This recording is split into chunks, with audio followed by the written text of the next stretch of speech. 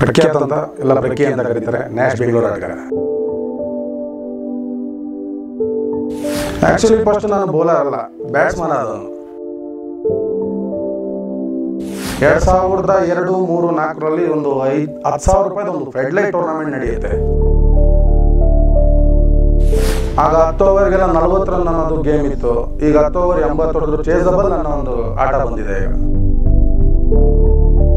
ನನ್ನ cricketing idle ಅಂದ್ರೆ ನಾನು ಮಗೇಂದ್ರ ಸಿಂಗ್ ಮಗಿ ಅವ್ರನ್ನೇ ನೋಡೋದು ನಾನು.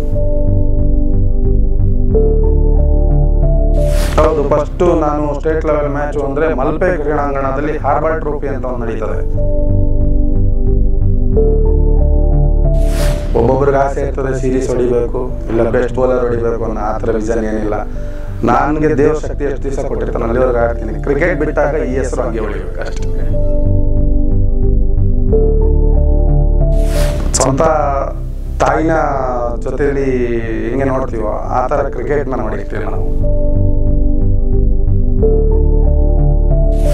ಆದರೆ ನ್ಯಾಷನ್ನ ಬಿಟ್ಟು ನಾವು ಯಾವತ್ತೂ ಎಲ್ಲೂ ಹೋಗಿಲ್ಲ. ವಿನ್ಸೆಂಟು ವಿಮಲ್ ಅವರು ಮಾತ್ರ ಕಳಿಸ್ಕೊಟ್ರೆ ಯಾವತ್ತಿದ್ರು ನಾವು ಆಡ್ಕೊಡೋ ಅಂತ ಇದು ಮಾಡಿದ್ವಿ. ಅಷ್ಟೇ ಹೊರತು ನಾವಾಗೆ ಎಲ್ಲೂ ಹೋಗಿಲ್ಲ ಯಾವತ್ತು ಯಾರಿಗೂ ಅಂದರೆ ನಾವು ಇಲ್ಲಿಂದ ಹೋದಾಗ ಖುಷಿಯಲ್ಲಿ ಬಡಿಲೇಬೇಕು ಟೂರ್ನಮೆಂಟ್ ಅಂತ ಹೋಗಿರ್ತೀವಿ. ವಿಧಿ ಅದೇನು ಮಾಡೋಕ್ಕಾಗಲ್ಲ. ಸೋಲು ಗೆಲುವು ಅನ್ನೋದು ಕ್ರಿಕೆಟಲ್ಲಿ ಕಾಮನು.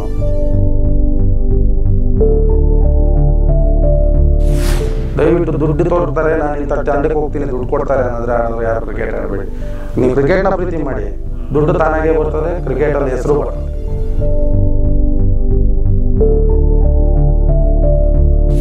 ಆದ್ರೆ ದಾರಿ ತೋರಿಸೋಂಥ ತಂಡಕ್ಕೆ ಮಾತ್ರ ಹೋಗಿ. ನಾನು ಇವತ್ತು ಈ ತಂಡಕ್ಕೆ ಹೋಗಿದ್ದೀನಿ ಅಂದ್ರೆ ಆ ತಂಡದಲ್ಲೇ ಇದ್ಬಿಡಿ.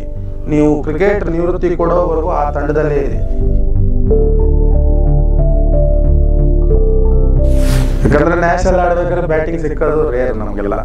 ಯಾಕಂದ್ರೆ ಒಂದರಿಂದ ಐದರೊಳಗಡೆ ಎಷ್ಟೋ ಸತಿ ಟೂರ್ನಮೆಂಟ್ಗಳಲ್ಲಿ ಅದು ಮುಗ್ದೋಗಿದೆ.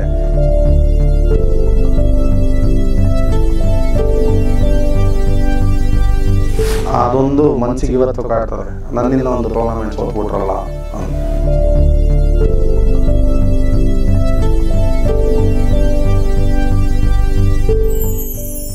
ಕರ್ನಾಟಕದ ಶ್ರೇಷ್ಠ ನ್ಯಾಶ್ ಬೆಂಗಳೂರು ತಂಡದ ಆಟಗಾರ ಪ್ರಖ್ಯಾಂತ್ ಪ್ರಕಿ ಅವರ ಸಂದರ್ಶನ ಅತಿ ಶೀಘ್ರದಲ್ಲಿ.